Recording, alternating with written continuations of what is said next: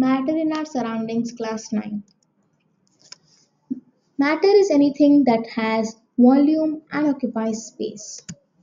Physical nature of matter.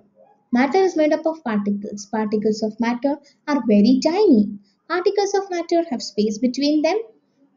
They are continuously moving and have force of attraction between them.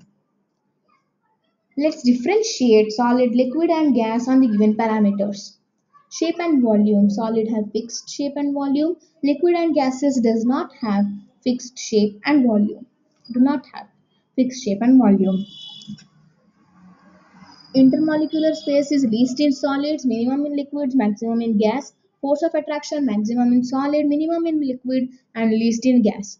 Density maximum in solid, minimum in liquid, least in gas. Compressibility negligible in solids.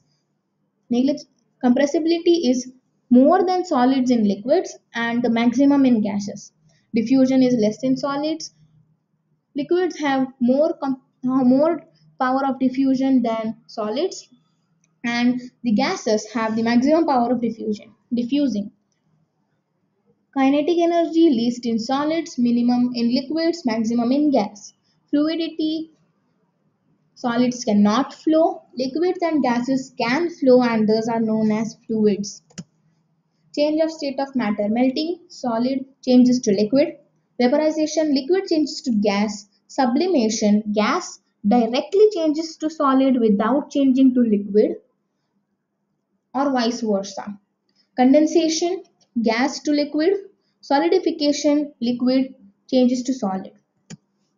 Definitions. The temperature at which a solid melts to become a liquid at the atmospheric pressure is called the melting point. The melting point of ice is 273 Kelvin that is 0 degrees Celsius. The amount of heat energy that is required to change 1 kg of a solid into liquid at the atmospheric pressure at its boiling point at its melting point is known as the latent heat of fusion the amount of heat energy that is required to change 1 kg of a liquid into gas as the atmospheric pressure at its boiling point is known as the latent heat of vaporization. When we say vaporization, we know that liquid is changing to gas and thus liquid needs a boiling needs its boiling point to change into gas.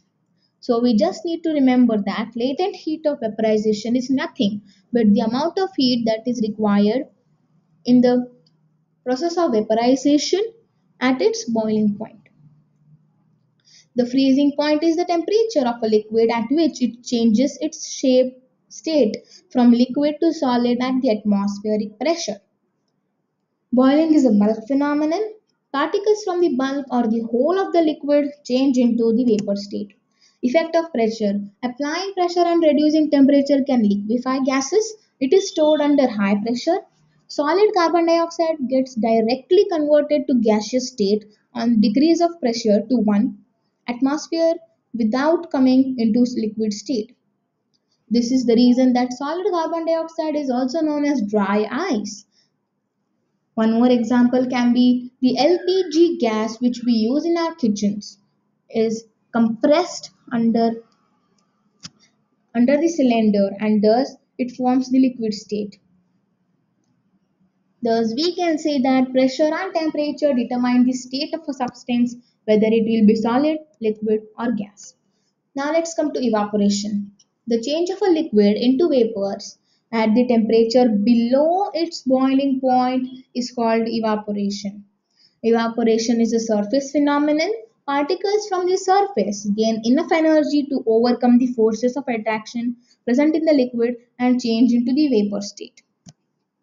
Factors affecting evaporation.